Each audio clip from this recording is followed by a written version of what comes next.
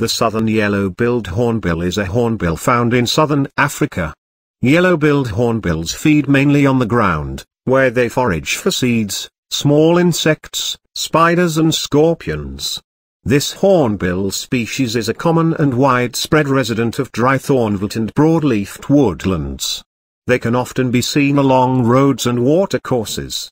It is a medium-sized bird, 48 to 60 centimeters, 19 to 24 in, in length, 132 to 242 grams, 0.291 to 0.534 pounds, in weight and is characterized by a long yellow and down-curved beak.